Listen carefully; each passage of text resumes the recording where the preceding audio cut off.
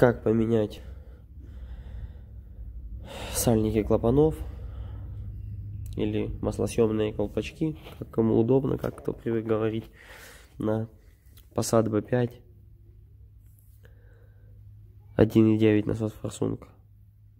Очень много есть похожих еще машин. Ну, в общем, скажу вот так.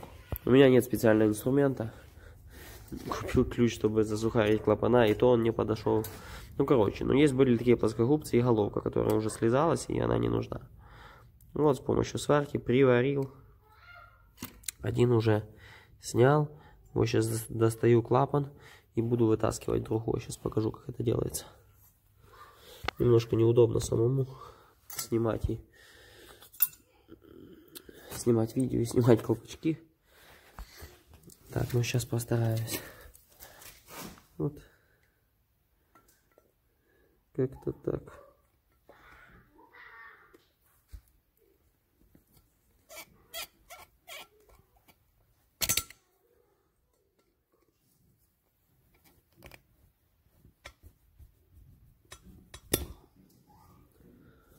маслосъемный колпачок, колпачок вот здесь.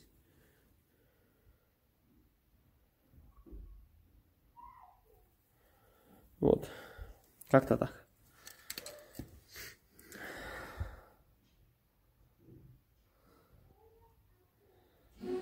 Да, он уже на задний поставить его.